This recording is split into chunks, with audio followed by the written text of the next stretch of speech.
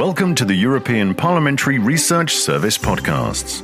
In this podcast, we'll talk about the European Commission's proposal to steer the EU maritime sector towards decarbonisation. Want to know more? Get on board.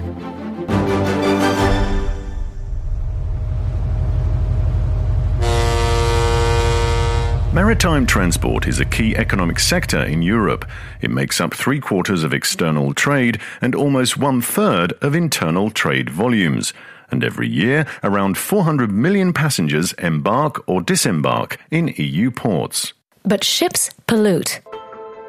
In 2018, they generated over 13% of all greenhouse gas emissions from transport. And while this is substantially less than the 71% generated by road transport, the problem is that at present, the maritime sector relies almost entirely on fossil fuels, mainly heavy fuel oil. In 2018, the International Maritime Organization, the UN's body regulating international shipping, set itself the goal to reduce average carbon intensity, which is the CO2 per tonne mile, by at least 40% by 2030 and by 70% in 2050. As well as to cut total emissions by at least 50% by 2050 compared to 2008 and phase them out as soon as possible. That's right. Now, meeting the 2030 reduction target can still be done with the current technology, combining measures such as lower speeds, improvements in operational efficiency through data analytics, limited use of low carbon fuels, and energy efficient designs. But meeting the 2050 goals is a different game and will require a global transition to alternative fuels and energy sources.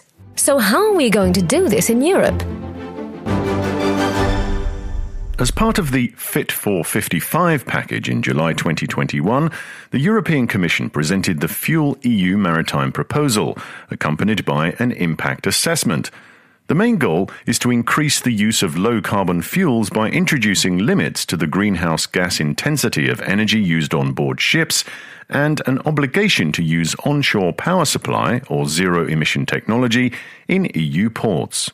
Marketa Pape from the European Parliamentary Research Service gives us some more details. The proposed regulation introduces increasingly stringent limits on carbon intensity of the energy used by ships, which would oblige them to use alternative fuels.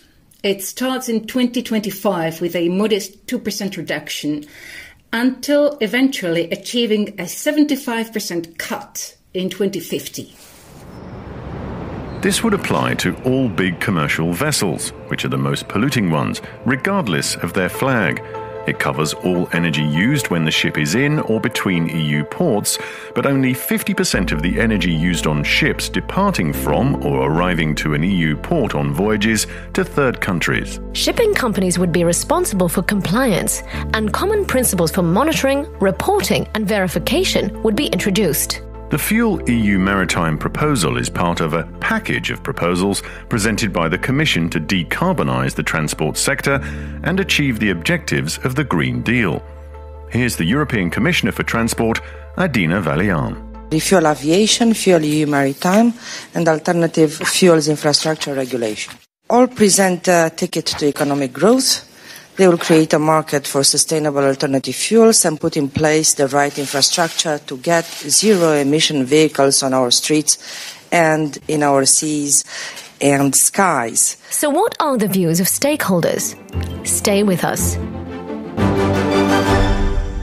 European ship owners support the idea of using cleaner fuels, but propose to make EU fuel suppliers, instead of shipping companies, responsible for meeting the new fuel standards. The environmental NGO Transport and Environment warns that if no green fuels are available for refueling in European ports, the switch to low carbon fuels cannot happen.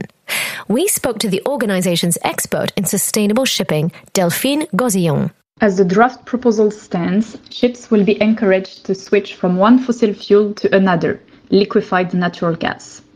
LNG could represent as much as a quarter of European shipping fuel mix by 2030. To correct this, FuelEU Maritime must include a minimum quota of e-fuels use by 2030. World Bank experts have also questioned the long term environmental benefits of using LNG as shipping fuel. and recommend public support to focus on the development of zero carbon bunker fuels instead.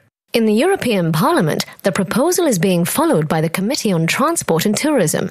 Here's the rapporteur, Jürgen Warborn. The FuelEU Maritime Regulation aims at creating a level playing field. No matter what flag ships carry, they should be subject to the same rules. We do not want loopholes or avoidance practices, and that is why we target the ships in this climate proposal and not fuel suppliers because a fuel supplier scope would mean we could only regulate suppliers in Europe, and ships could easily bunker dirtier and cheaper fuels outside Europe. Want to know more? Check out Marketa Pape's full policy brief on the EPRS website or in our app. This is a European Parliamentary Research Service podcast. Thanks for listening.